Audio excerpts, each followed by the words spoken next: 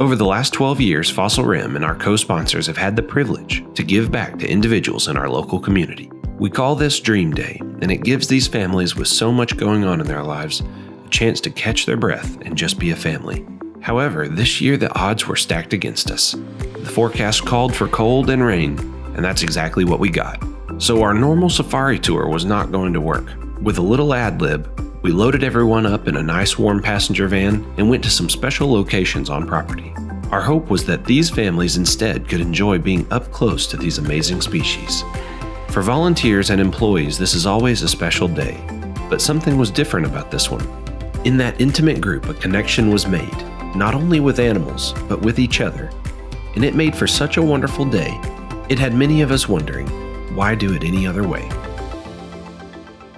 We want to thank our co sponsors that make this event possible Glen Rose Medical Center, United Cooperative Services, LDL Education Resource Foundation, The Promise, and Texas Parks and Wildlife.